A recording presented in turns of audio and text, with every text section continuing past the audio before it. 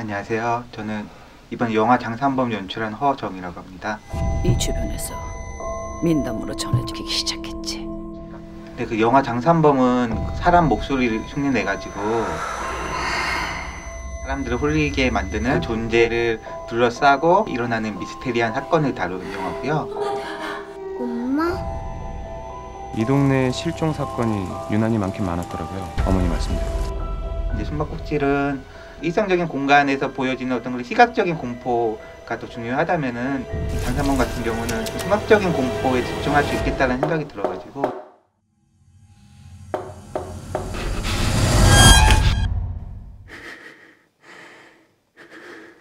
여보, 여보, 살려줘.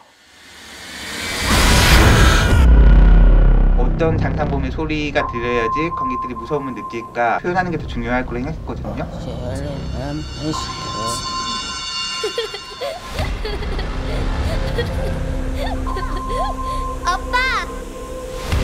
장산범이라고 하네. 목소리를 흉내내서 홀리게 만드는 게 알려져 있어.